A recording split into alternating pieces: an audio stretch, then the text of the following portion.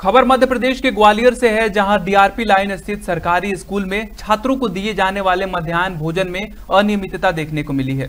जी हाँ, मध्याह्न भोजन की जो गुणवत्ता है, यानी क्वालिटी की अगर हम बात करें तो आप रिपोर्ट में जानिए कि भोजन का प्रबंधन किस तरह से किया जा रहा है और इस मामले में छात्रों का क्या कहना है और मामले में कार्रवाई की गई है या नहीं, देखिए ये रिपोर्ट। मध्यान्ह भोजन में अनियमितता, मेन्यू के हिसाब से नहीं दिया जा रहा खाना, छात्रों के स्वास्थ्य से खिलवाड़ आखिर कौन जिम्मेदार? बता दें कि यहाँ सरकारी स्कूल में सरकार ने हर ठेकेदार को भोजन मेन्यू दिया है। मेन्यू में साफ़ लिखा है कि किस दिन कौन सी डिश दी जानी है। लेकिन ठेकेदार सुशीला दीक्षित द्वारा खिचड़ी में घटिया गुणवत्ता वाले चावल और मूंग दाल का उपयोग किया जा रहा है। बच्चों की थाली में मोटी पूरी, कच्ची रोटी और पतली सब्ज़ी परोसी जा रही है। कहा जा सकता है कि छात्रों को योजना का ठीक से लाभ नहीं मिल पा रहा है। इससे साफ़ समझ आ रहा है कि ठेकेदार सुशीला दीक्षित मेन्यू के अनुसार सरकार से पूरा पैसा तो ज़रूर ले रही हैं, लेकिन छात्रों के भोजन का प्रबंधन ठीक से नहीं कर रही हैं। वहीं जब स्कूली छात्रों से खाने के बारे में पूछा गया तो उन्होंने बताया कि उन्हें बासी सब्ज़ी परोसी जाती है। सुनिए छात्रों की बात। सही मिलता है पर ना रोटी ज़रा कच्ची कच्ची और ढकी ढकी सी आती हैं। और मोटी मोटी आती हैं और पूड़ी भी ज़रा मोटी मोटी आती हैं। और कभी कभार सब्ज़ी वगैरह भुस्सी आती है दाल वगैरह। सब्ज़ी वगैरह? भुस्सी आती है। फिर आप टीचर से बोलते हैं अपने प्रिंसिपल से? क्यों? नहीं सर। जब सब्ज़ी खराब हो जाती है तो आपको बोलना चाहिए नहीं बोलना चाहिए? आप खाते हो सब्ज़ी वो नहीं खाते फिर?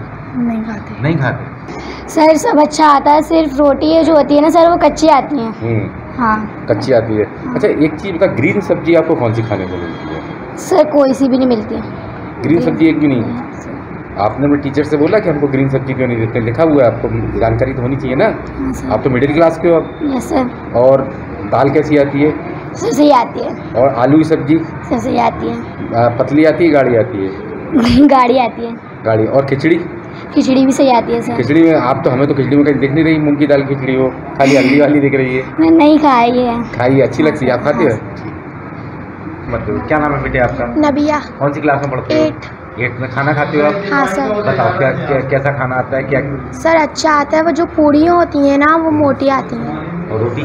सर रोटी भी कच्ची आती है। तो दोनों कच्ची आती है। और हाँ, हरी। सब्ज़ी कौन सी खाने को सर हरी सब्ज़ी कोई सी नहीं आती। हरी सब्ज़ी कोई भी नहीं आती है आपको और खीर कभी खाई है आपने? खीर कभी नहीं मिली आपको। हलवा खाया है? हाँ सर। हलवा कैसा लगता है हलवा अच्छा दाल वाल सब अच्छी लगती है?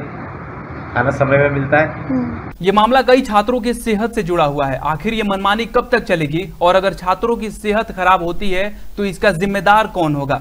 देखिए रिपोर्ट में कि इसे लेकर स्कूल प्रचार्य का क्या कहना है। जैसा कि सर अभी हमने आपके स्कूल में आके बच्चों से पूछा जी। मध्याह्न भोजन के बारे में। जी। तो उन्होंने कुछ बताया हमको जी। कि रोटी के बारे में पूड़ी के बारे में ग्रीन सब्ज़ी के बारे में। तो थोड़ा आप बताएँ कि क्या आपने हाँ बच्चों वैसे क्या है मध्यान्ह भोजन जो आता है तो मेन्यू के अनुसार ही आता है। लेकिन बच्चों ने कुछ बच्चों ने ये थोड़ा स्टेटमेंट दिया था कि बच, रोटी ठंडी हो जाती है। जो मेनू के अनुसार ट्यूसडे को पूड़ी आती है वो भी थोड़ी मोटी रहती है। तो इसके लिए मैंने मतलब जो है संबंधित जिला पंचायत सी को। सुपरवाइजर को बताया था अवगत कराया था। और भोजन आता है प्रतिदिन भोजन की क्वालिटी थोड़ी ठीक होना चाहिए। अभी क्वालिटी सही है। अ, अच्छा हरी नहीं, सब्ज़ी तो आप सब्ज़ी तो मतलब और ठीक है लेकिन फिर भी मतलब थोड़ा सब्ज़ी जो है थोड़ा पतली है। हम्म, ये। और मतलब रोटी है, कच्ची है। पूड़ी मोटी है दस पतली सब्ज़ी नहीं रोटी कच्ची तो नहीं आती है लेकिन रोटी थोड़ी ठंडी होती है। हाँ, और थोड़ी मोटी पूरी बच्चों ने बताई थी वो हमने सुपरवाइजर को अवगत कराया था। ग्रीन सब्ज़ी बारे में? ग्रीन सब्ज़ी नहीं आती है जो बच्चों ने बताया था। बट मैं देखता हूँ ग्रीन सब्ज़ी तो नहीं आती है। हम्म, जो सब्ज़ियाँ हैं मेनू के अनुसार वो प्राप्त होती हैं। लेकिन सर आपको तो जानकारी है जैसे खिचड़ी कहा जाता है कि खिचड़ी आज लिखी हुई है में। लेकिन खिचड़ी में हमें कहीं दाल तो कहीं दिख नहीं रही। नहीं दाल तो है लेकिन थोड़ा पतली है। खिचड़ी में मतलब जो है जो क्वालिटी होना चाहिए वो थोड़ा सा कम है। यदि दाल इसमें हो बेहतर तो बच्चों के लिए अच्छा हो।